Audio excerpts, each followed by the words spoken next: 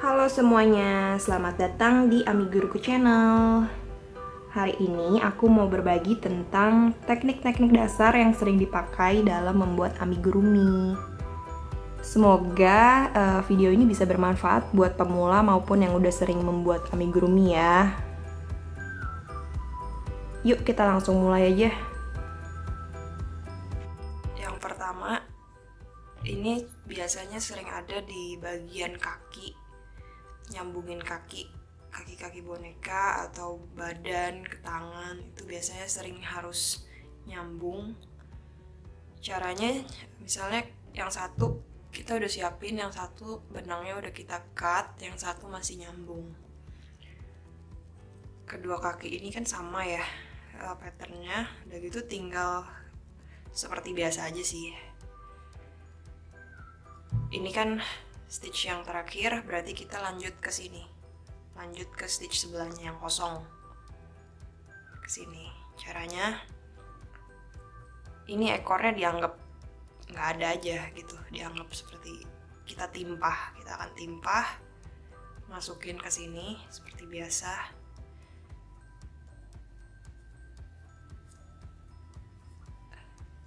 Terus ya udah kita ambil single crochet sesuai sama patternnya. Ini aku kerjain kalau patternnya langsung nyambung ya tanpa chain. Udah langsung aja gini. Pokoknya kerjain sampai stitchnya misalnya kakinya yang kanan 12 yang kiri 12 udah gitu lanjut ngerjain yang ke sininya. Ininya juga stitch yang kosong di mana kita mulai langsung aja masukin ke situ udah begini aja langsung lanjutin pattern sesuai dengan pattern kalian.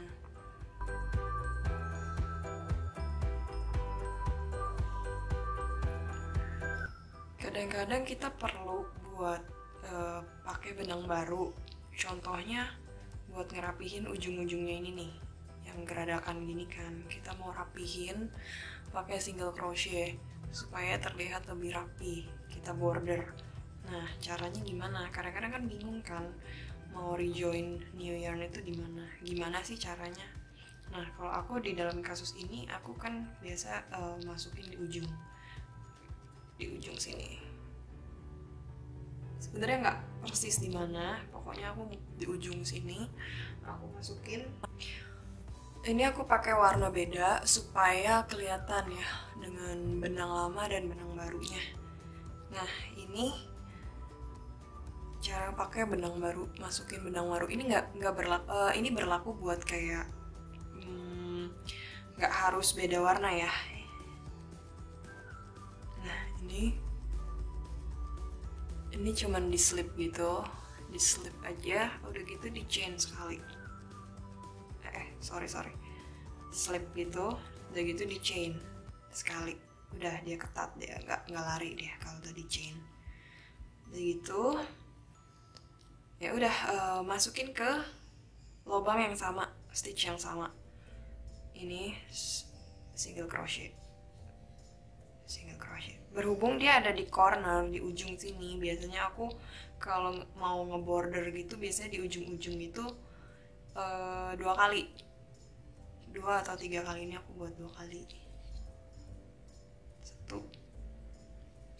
Nah udah Nah biasanya kalau buat uh, nutup menutup uh, kepala gitu atau bagian-bagian yang diisi pakai polyfiber kayak gini cara tutupnya nih setelah kita udah gunting gunting benangnya kita kan biasa tutup ya supaya bolongan ini rapat itu biasanya aku masukin pakai ini pakai jarum gitu masukin dari luar ke dalam ambil front loop aja. Front loopnya di stitch stitch setelahnya ya. Satu nih. Satu.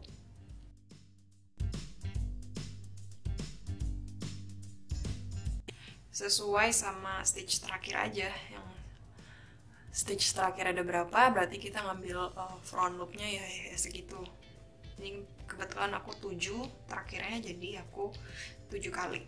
Udah gitu kalau udah ya tinggal ditarik aja. Set gitu. Sampai dia rapet. Kayak gitu.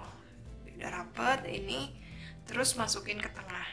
Masukin ke tengah lubangnya itu. Habis itu dibuang ke ke random aja ke mana aja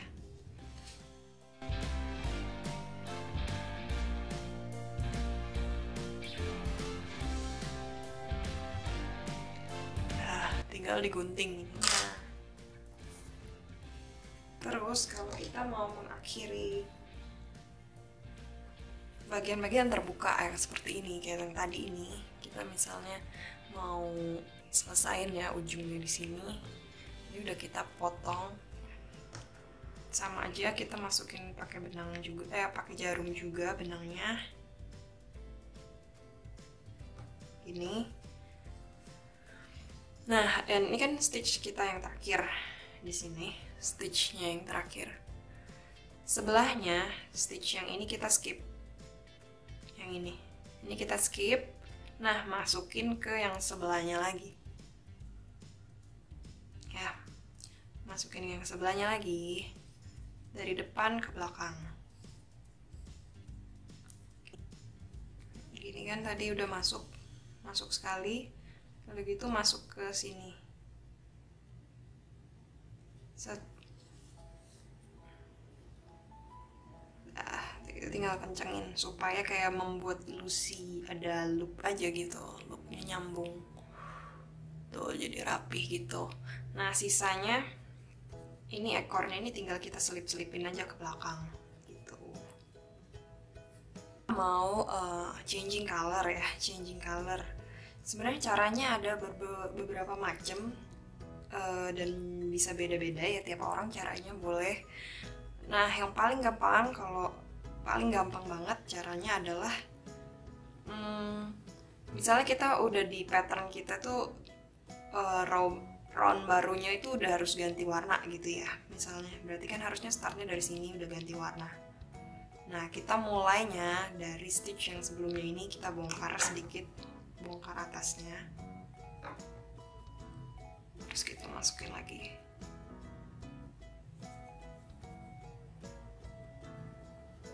Eh susah sih.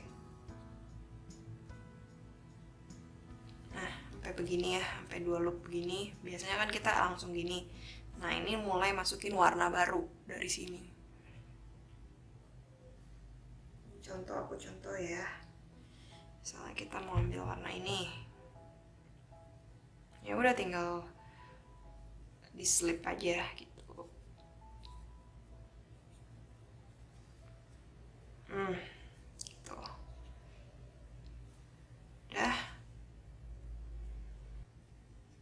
tinggal ya udah.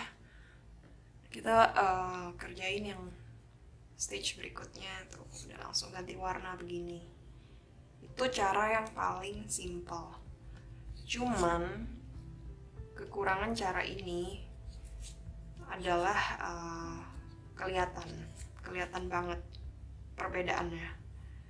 Jadi kayak kalau misalnya kita ngerjain yang tiap roundnya tuh ganti warna nanti dia bakalan kayak zigzag gitu di sini hasilnya. Kelihatan banget lah pokoknya ya nah kalau aku uh, cara ngakalinnya adalah gini. Kita selesain dulu. Ini kan cara yang paling gampang ya. Kalau misalnya kalian gak masalah dengan cara ini ya nggak masalah gitu. Nggak nggak masalah dengan zigzagnya itu misalnya itu bagian belakang gitu nggak kelihatan ya nggak apa-apa. Cuman kalau untuk bagian-bagian yang kelihatan itu mendingan uh, kalau aku caranya gini jadi di round yang terakhir di round yang terakhir ini kita selesain dulu. Ini kan tadi gini ini misalnya aduh ini misalnya stitch terakhir ya stitch terakhir kayak gini. Itu aku gunting. Itu aku gunting dulu. Udah gitu aku clean fasten off seperti teknik yang sebelumnya tadi aku aku aku finishing dulu ini. Finish ini. Caranya yang sama kayak tadi ya. Skip yang pertama yang skip stitch yang setelahnya baru aku masuk yang ke sini baru masuk yang sebelahnya. Begini udah gitu aku masukin ke sini dah anggaplah begini ya udah selesai nih. Jumlah stitchnya sama misalnya 24 gitu ya. jumlah stitch sama. Baru aku mulai warna baru. Warna barunya aku mulai. Caranya di rejoin sama aja kayak yang pertama teknik yang number one tadi. Caranya misalnya aku mau mulai dari sini ya. Anggaplah loop ini yang pertama. Ya udah tinggal masukin rejoin yang dengan warna yang baru.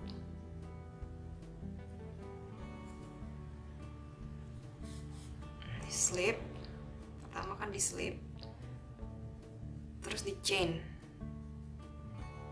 Gitu kan. Habis itu kerjain di masukin di stitch yang sama itu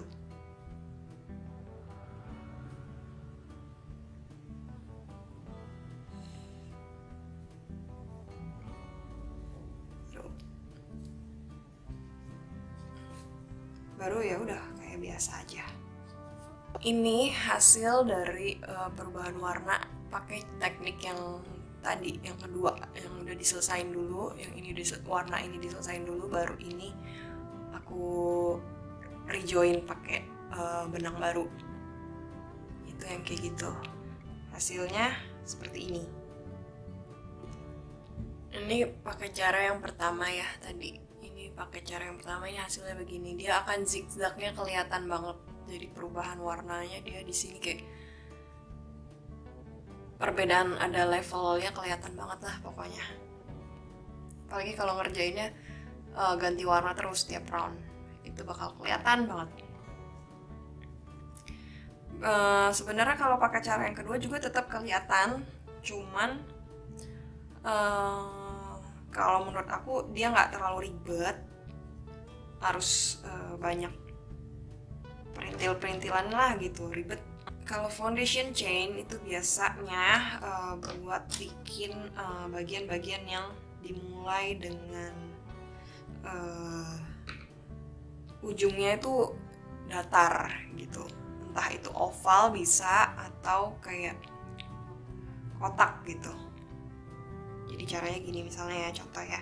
Misalnya ini aku chain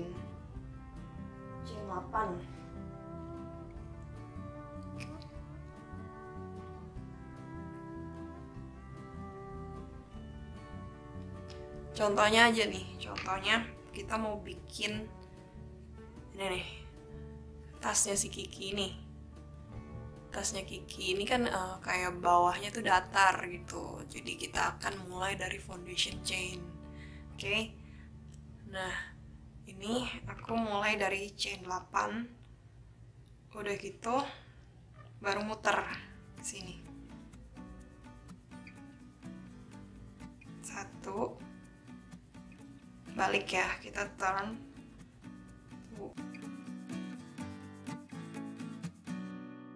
Nah biasanya di ujungnya ini kita tuh mau uh, buat dia muter ke sini muter ke sini. Jadi biasanya di ujungnya ini bisa tiga tiga stitch di dalam satu lubang atau uh, tergantung pattern lah. Bisa empat juga tergantung. Bisa 5 juga. Ini kita contohin tiga aja ya. Tiga stitch tiga single crochet dalam satu stitch satu dua jadi kita mau muter kan habis dari sini kita ke sini. Kerjain yang sisi sebelah sini.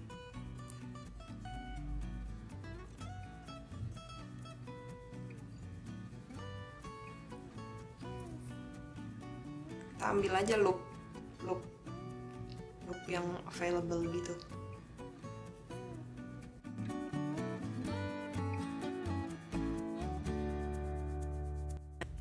stitch yang terakhir karena ujungnya kita tadi tiga.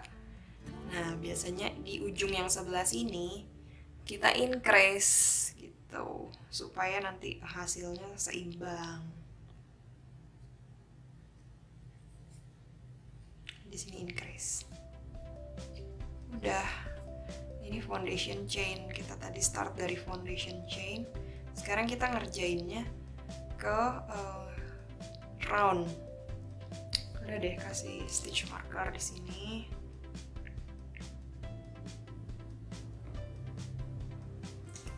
Baru kita mulai ngerjainnya ke round masukin ke loop yang pertama.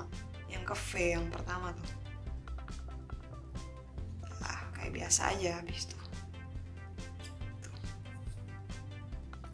Nah, basic teknik yang selanjutnya adalah uh, biasanya ngejahit ya, ngejahit parts ke bagian yang lain gitu. Misalnya ini, kita mau mau jahit si muzzle ke kepala gitu. Ini biasanya biasanya kalau di sininya aku aku posisiin yang bagian ininya di bawah nih di bawah gitu. Di bawah terus aku kasih pin aku pin sekali. Baru ininya aku jahit.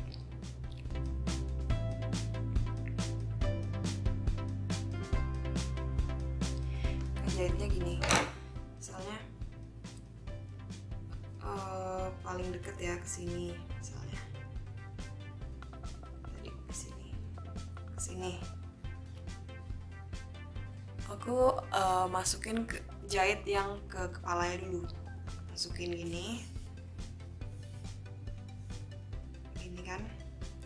terus masukin dari belakang. Gini ke bagian muzzle ini terus masukin lagi ke stitch yang tadi yang sama. Sini. Sini baru kita masukin yang sebelahnya. Baru gerak baru geser ke sebelahnya gitu terus masukin ke yang sini sebelahnya lagi. Gitu masukin yang sini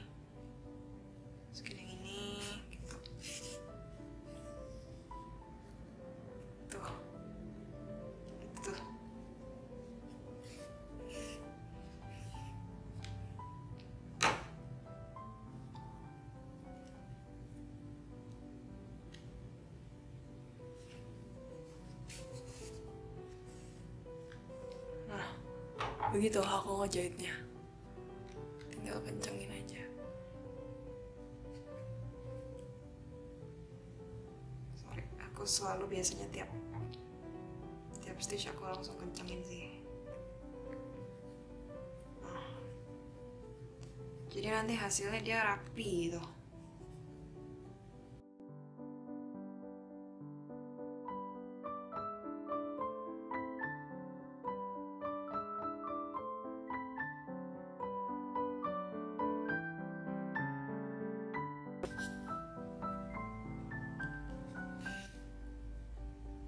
jangan lupa kalau udah mau akhir gini kita isi.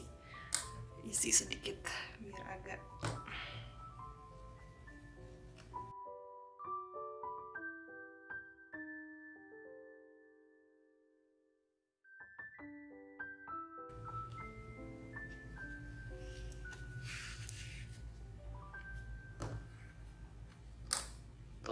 jadi hasilnya tuh dia kecil-kecil gitu jahitannya